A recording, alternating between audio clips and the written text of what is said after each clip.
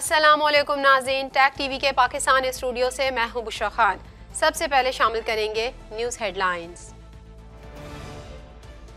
S I F C की apex committee का इजलास, मुआशी सूरत हाल पर गौर। S I F C committee का सरमाकारी के फ़रोग के लिए इकदाम पर इतमान का इजहार, निजकारी का अमल तेज करने की हिदायत। वजारत दिफा ने फौजी अदालतों में सिविलियंस का ट्रायल रोकने का फैसला चैलेंज कर दिया। वजारत दिफा ने अपील की है कि आर्मी एक्ट और ऑफिशियल सीक्रेट एक्ट की दफात कलदम होने से मुल्क को नाकबिल तलाफी नुकसान होगा। सुप्रीम कोर्ट के पाँच रुकनी बेंच ने जिन दरख्वास्तों पर फैसला दिया, वो नाकबिल समात थी।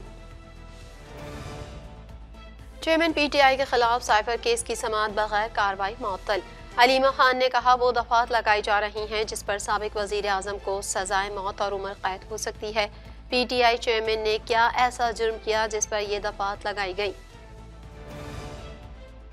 लाहौर हाई कोर्ट इस मुख के तदारक के लिए सरकारी सतह पर साइकिलिंग को फरोख देने की हिदायत। इस मुख का बायस बनने वाले अनासर के खिलाफ घेरा तंग, पंद्रह रोजा रिपोर्ट जारी।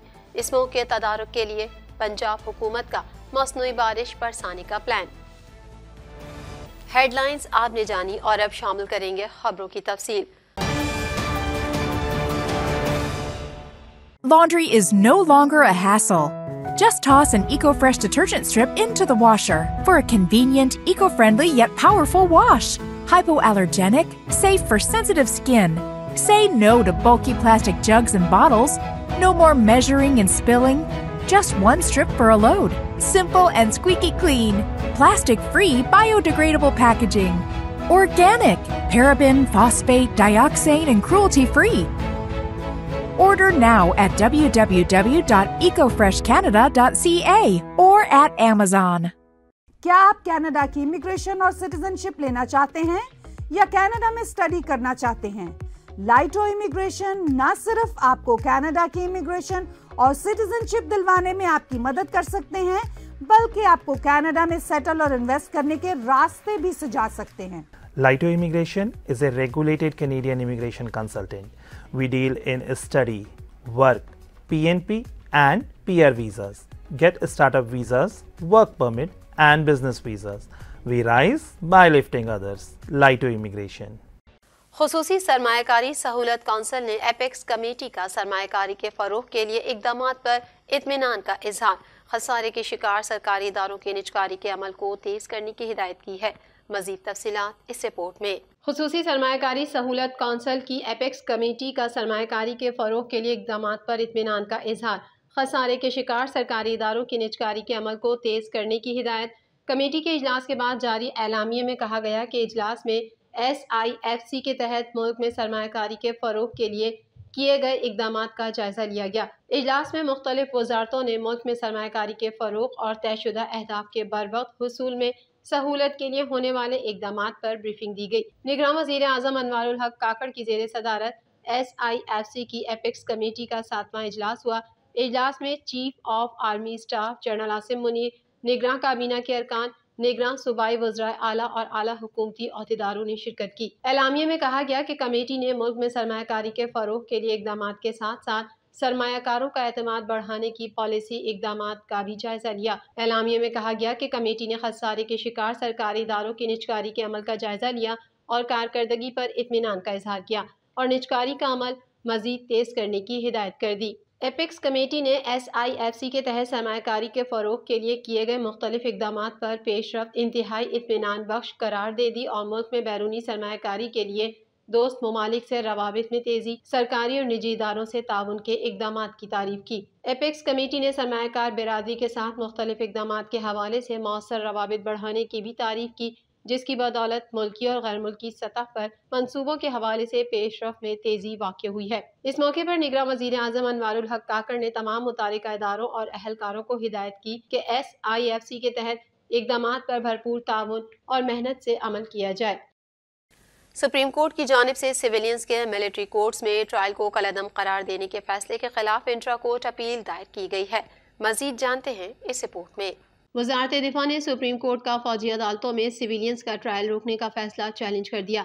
सुप्रीम कोर्ट की जानब से सिविलियंस के मिलिट्री कोर्ट्स में ट्रायल को कलदम करार देने के फैसले के खिलाफ इंट्रा कोर्ट अपील दायर की गई है, जिसमें इस्तः की गई है कि आर्मी तनसीबात पर हमलों के मुलजमान का ट्रायल फौजी अदालतों में न करने का फैसला कलदम करार दिया जाए। वजारत दिफा ने आर्मी तनसीबात पर हमलों के मुलजमान का ट्रायल फौजी अदालतों में न करने का फैसला कलदम करार देने की इस्तः की, जबकि ऑफिशियल सीक्रेट एक्ट की कलदम करार दी गई दफात भी बहाल करने की इस्तः कर दी है। दरख्वास्त में इस्तः की गई है कि आर्मी एक्ट की कलदम करार दी गई दफ़ा उनसठ चार भी बहाल की जाए। अपीलों पर हतमी फैसले तक फौजी अदालतों में ट्रायल रोकने के खिलाफ हुक्म इम्तना दिया जाए। वजारत दिफा ने अपीलों पर हतमी फैसले तक फौजी अदालतों में ट्रायल रोकने के खिलाफ हुक्म इम्तना की भी इस्तः कर दी। अपील में बताया गया कि सुप्रीम कोर्ट के पाँच रुकनी बेंच ने जिन दरख्वास्तों पर फैसला दिया वो नाकाबिल समात थी। आर्मी एक्ट और ऑफिशियल सीक्रेट एक्ट की दफात कलदम होने से मुल्क को नाकाबिल तलाफी नुकसान होगा। वजारत दिफा की जानब से दरख्वास्त में कहा गया है कि सुप्रीम कोर्ट के पाँच रुकनी बेंच ने जिन दरख्वास्तों पर फैसला दिया वो नाकाबिल समात थी। आर्मी एक्ट और ऑफिशियल सीक्रेट एक्ट की दफात कलदम होने से मुल्क को नाकाबिल तलाफी नुकसान होगा। वाजह रहे कि सुप्रीम कोर्ट ऑफ़ पाकिस्तान ने फौजी अदालतों में सिविलियंस का ट्रायल गैर कानूनी करार देते हुए नौ मई के तमाम मुलजिमान का ट्रायल आम अदालतों में करने का हुक्म जारी किया था। चेयरमैन पीटीआई के खिलाफ साइफर केस की समात बगैर किसी कार्रवाई के मअतल हो गई। मजीद तफसीत इस रिपोर्ट में। चेयरमैन पीटीआई के खिलाफ साइफर केस की समात बगैर किसी कार्रवाई के मअतल हो गई। साइफर केस की समात के मौके पर चेयरमैन पीटीआई की अहलिया वकला की टीम बहने अलीमा खान और उज़मा खानम एफआईए टीम और प्रोसिक्यूटर्स अदालत पहुँचे। अलावा अज़ीज़ शाह महमूद कुरैशी के वकील बैरिस्टर तैमूर मलिक, उनकी अहलिया महरीन कुरैशी और बेटी मेहरबानो कुरैशी भी अडियाला जेल पहुँचे। इसी असना में ऑफिशियल सीक्रेट एक्ट खसूसी अदालत के जज अबू अल हसनात मोहम्मद जुलकरनैन भी अडियाला जेल पहुँच गए। बाद अजा अदालत ने सैफर केस की समात इक्कीस नवंबर तक बगैर किसी कार्रवाई के मुलतवी कर दी। Chairman P T I Imran Khan के वकील सरदार लतीफ़ खोसा ने कहा है की नैब को सबक खातून अव्वल बुशरा बीबी की गिरफ्तारी दरकार नहीं। नैब की जानब ऐसी कहा गया है कि हमें बुशरा बीबी मतलूब नहीं। सीनियर सियासी रहनुमा और मारूफ वकील सरदार लतीफ़ खोसा का अडियाला जेल के बाहर मीडिया से गुफ्तु में कहना था कि बुशरा बीबी की हमने जमानत कबल अज गिरफ्तारी मांगी हुई है। नैब की जानब से इमरान खान के जिसमानी रिमांड की इस्तः की जाएगी। ताहम मुझे लगता है कि इमरान खान के जिसमानी रिमांड की इस्तः कबूल नहीं होगी। अदालत ने नैब को पहले ही इमरान खान से तफ्तीश की इजाज़त दे रखी है। वो पहले ही जुडिशल रिमांड पर हैं। उन्होंने कहा कि बुशरा बीबी के अगर चेयरमैन नैब ने वारंट गिरफ्तारी जारी किए हुए हैं तो उस पर बहस होगी। नैब ने कहा है कि केस में हमें बुशरा बीबी मतलूब नहीं। चेयरमैन पीटीआई की बहन अलीमा खान ने कहा कि साइफर केस का हाई कोर्ट से स्टे ऑर्डर हो गया है। ये वो दफात लगाई जा रही हैं। जिस पर सबक वज़ीर आज़म को सजाए मौत और उम्र कैद हो सकती है। रावलपिंडी अडियाला जेल के बाहर मीडिया से गुफ्तु करते हुए अनिमा खान ने कहा कि बताया जाए पीटीआई चेयरमैन ने क्या ऐसा जुर्म किया जिस पर यह दफात लगाई गई। उन्होंने कहा कि राना सनाउल्ला ने पीटीआई चेयरमैन पर केस किया। पाकिस्तान में इंसाफ मिलना चाहिए। अनिमा खान ने कहा कि सबक वज़ीर आज़म बिल्कुल अच्छी सेहत में है। उन्होंने बताया अच्छी रूटीन बनी हुई है। उन्होंने मजीद कहा कि चेयरमैन पीटीआई की जानब से खाने की कोई शिकायत नहीं की गई।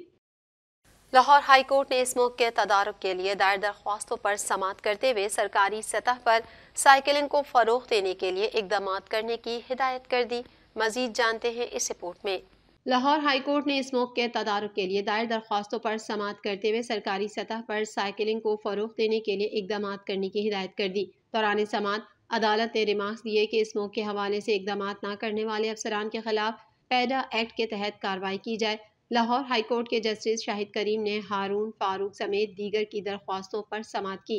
दौरान समात सरकारी वकील ने स्मोक के तदारक के लिए सिफारिशात पेश की, जिनमें बताया गया कि रेस्टोरेंट्स को जल बंद करने और जिम वगैरह को बंद करने की सिफारिशात तैयार की हैं, जिस पर अदालत ने रिमार्क्स दिए कि कुछ सिफारिशात गैर ज़रूरी हैं। जिम तो कोरोना के दौरान बंद हुए थे। जस्टिस शाहिद करीम ने रिमार्क्स दिए कि भारत में फ़सलों की बाकियात बहुत ज़्यादा जलाई जाती हैं। अगर हवा इंडिया से पाकिस्तान की जानब से चले तो तमाम असरा पाकिस्तान में आएँगे। अदालत ने घरों में गाड़ियाँ धोने वालों के खिलाफ भी कार्रवाई यकीनी बनाने की हिदायत कर दी। अदालत ने रिमार्क्स दिए की डिप्टी कमिश्नर्स इस स्मोक से मुतालिक आगाही वॉक करके कहते हैं कि हमने अपना किरदार अदा कर दिया। जो अफसरान स्मोक के हवाले से इकदाम ना करें, उनके खिलाफ पैडा एक्ट के तहत कार्रवाई की जाए। बरतानिया में जजेस आज भी साइकिलों पर आते हैं। साइकिलिंग को फरोग दें, हुकूमती सतह पर इकदाम हों तो मुस्बत असरात आएँगे। बाद अदालत ने केस की समात बाईस नवंबर तक मुलतवी कर दी। दूसरी जानब पंजाब हुकूमत ने लाहौर शहर में इस स्मोक के खात्मे के लिए मसनू बारिश बरसाने का मनसूबा तैयार किया है। अट्ठाईस और उनतीस नवंबर को मसनू बारिश के लिए माहरीन की कमेटी भी तश्कील दे दी गई है। दूसरी जानब स्मोक का बायस बनने वाले अनासर के खिलाफ घेरा तंग कर दिया गया।